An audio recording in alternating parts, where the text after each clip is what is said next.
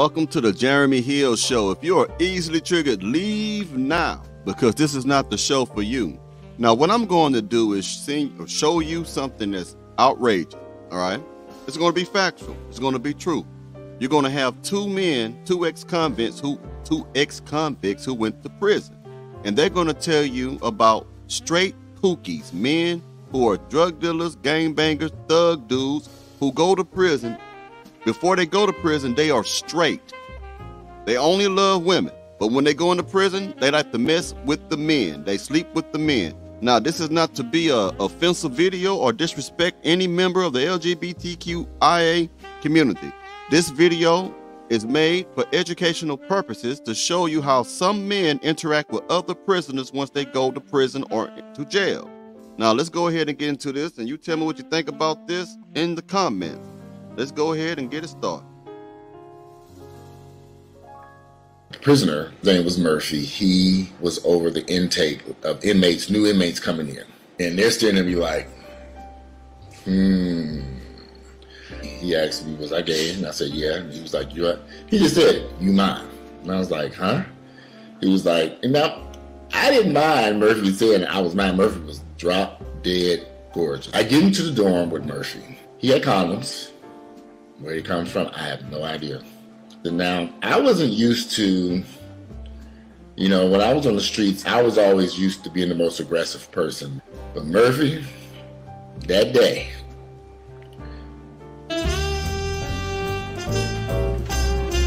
He's telling what he did to you. Got to censor that. a whole lot of stuff that I was not expecting from this masculine, straight acting man in prison.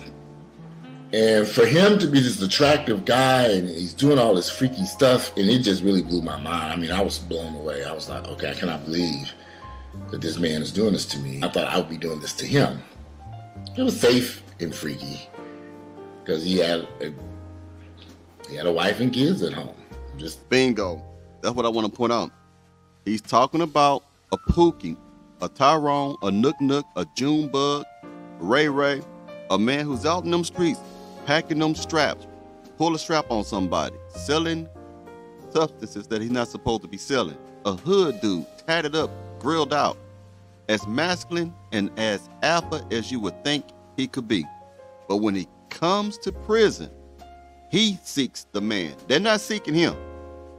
The gangster, the thug dude, the one that's married, the pookie is looking for men that he can pounce upon.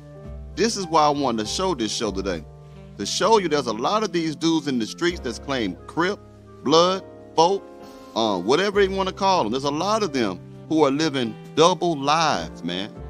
This is how a lot of our women are catching a lot of STDs. Now, the women got it too now. They have more than men. But I want to show you this story. Telling you what went down. Man had a wife and kids. So, yeah. I- Murphy was serving time, I believe, for drug charges. I'm pretty sure he got caught in selling drugs. He's back in prison right now as we speak, too. He's been back and forth to prison. Still a very attractive guy. I have to say, there was some fine brothers in that prison camp. And a lot of those guys serving time were in there to serve their time and go home. I didn't see a lot of fights or argument, but I did see a lot of brothers having relationships with one another. Wow. Now, again, this was 20 plus years ago, but everybody in there was down. They were down for um, having sex with a, with a man or with me or someone else. Everybody, Wow. even the guards.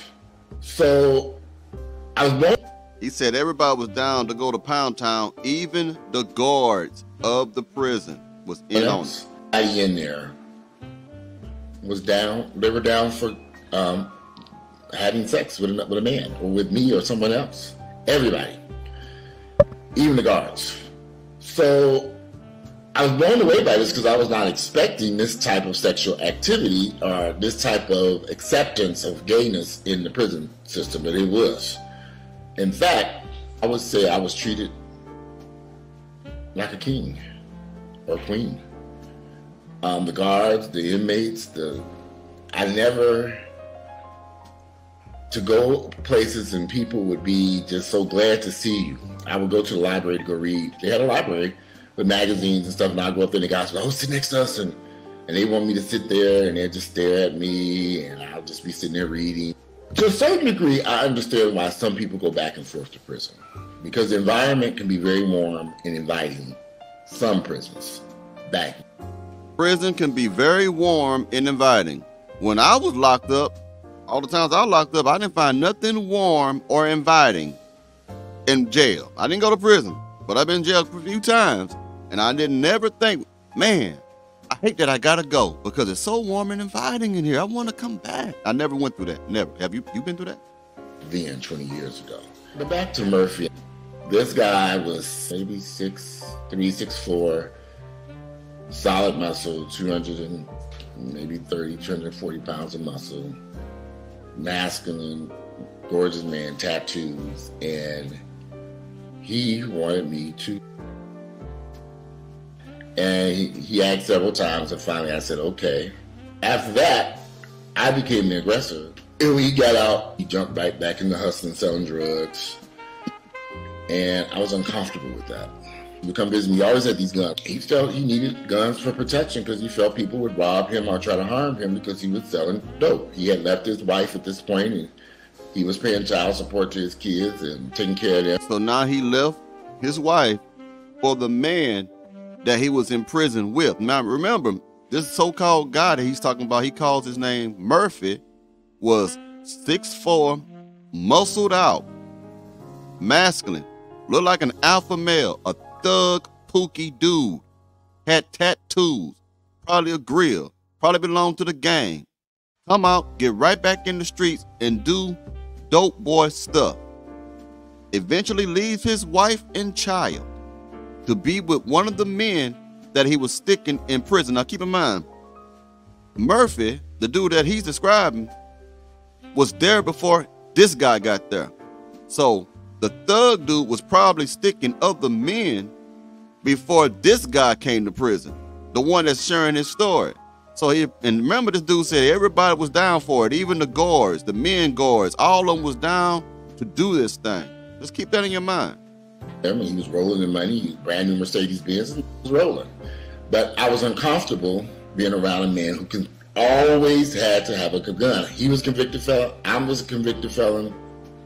And I was like, if we get caught driving down the street with these guns, I'm going to jail because you got a gun. But needless to say, that didn't work too good. Because then he was a gangster too. He was he was real hood. He was once he got back on the streets, he became this really hood gangster person, which frightened me because you know I'm, I'm happy, but when he got back on the streets, he just got this real tough demeanor about him. Um, he would say certain things and act certain ways, and I let it go. But anyway, there was a lot. There were some drag queens there who were running that place. I mean, they ran it and it was very interesting because they were they were they were not attractive.